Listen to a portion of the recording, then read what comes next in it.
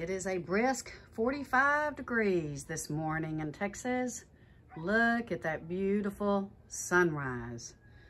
We have so much on the agenda, guys, that we've got to get caught back up. And uh, so stay tuned. Good morning, everyone. Jill here with North Texas Vegetable Gardening, canning, recipes, a little bit of everything. Guys, it's that time of year where it's cold in the morning and you wear jackets and jeans in the morning and then you go to your short sleeve shirt and uh, your shorts in the afternoon. Um, like you saw, it was 45 degrees this morning. It's going to warm up this week um, and we're going to get back into the lower 80s. But right now, um, it's still a bit chilly. So we're going to talk about our water well and we're going to talk about things you need to consider if you're thinking about getting one.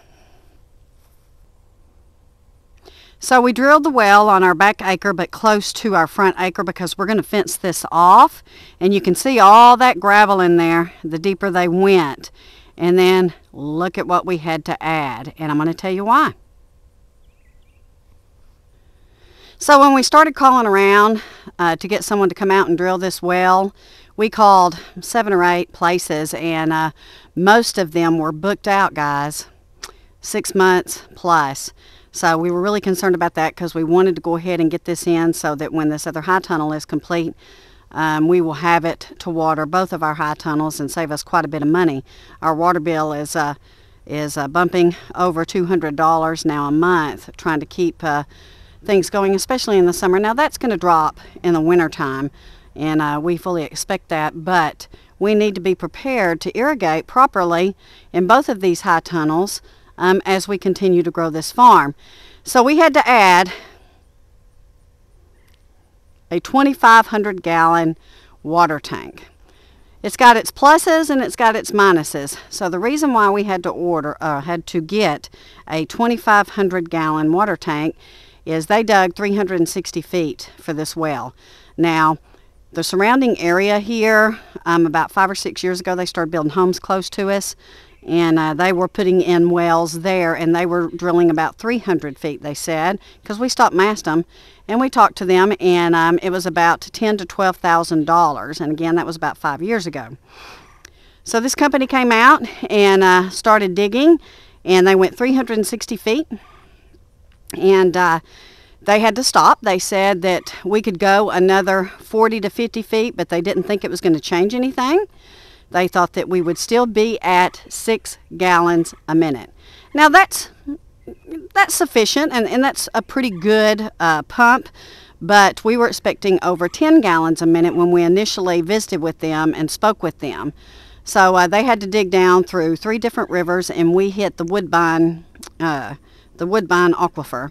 So the the bad thing is, is we really wanted the 10 gallons a minute. The good thing is, is with this 25 gallon tank, or 2,500 gallon tank, excuse me, um, see I'm already getting hot out here in the sun. With the 2,500 gallon water tank, um, it is going to preserve our pump. And uh, what that means is that if we had just gone ahead and piped the house and piped the greenhouses directly from uh, the water well, the pump would probably be running continuously. With the 2,500 gallon tank, it's not going to run continuously. It's only going to run to fill up the tank. And uh, so we may deplete more at times, and so the pump will run a little bit more to fill that tank. It does have floats in it, almost like a septic system, to alert the well to fill it up. And so uh, we will be able to pipe directly from this. We'll also run another tank up there in between the two high tunnels, sorry, in between the two high tunnels. Um, so we will have um, a stash up there too, or um, I guess an overflow. So 2,500 gallon tank is pretty good. Um, we think that for our household it's going to be just fine, but we really weren't expecting the added cost, and this was an additional $6,000. So I will tell you that the water well has gone up three times what it was five years ago. And I will tell you that the wait time to get a water well dug out here in our area is um, six months plus. So we're, we're glad that we were able to get it done because again, we are going to need it. It is eventually going to save us uh, some money on our water bill, but it was a very large expenditure. So as soon as Greg is finished with this other high tunnel and uh, we are trying to we're going to try to get the end walls up by the end of this week. We've had our life circumstances that have just interrupted. But uh, you know, I'm so thankful I got to spend time with my mom um, before she went home to be with the Lord. But anyway, Greg is going to have to build a well house, and we think that we're going to fence off this entire area here because we want to protect our water source and we want to make sure that not just anybody can drive back here, and there is a road that comes back here, and uh, pull from our water source. So we do not regret being blessed with this water well. Becoming more self-sufficient seems to be extremely important right now uh, to a lot of folks, especially homesteaders and farmers. And um, such trying times that we have. So we are very happy that we have it. We feel very blessed. And there's more things that we're going to um, start to try to do to become a little bit more self-sufficient. And we are planting like crazy. And I've still got my seed starts up there. I'm going to have to start some more. Um, because as soon as this high tunnel is ready, we'll be filling that up as quickly as we can. And guess what? December rolls around in just a, what, six weeks? And we'll be starting our tomato seeds that are going to be going in that uh, high, bigger high tunnel for the spring. So the year is kicking in gear. The holidays are coming up on, up on us. Um, spring seed starting is just right around the corner, so you want to start getting ready and make sure you have your seeds.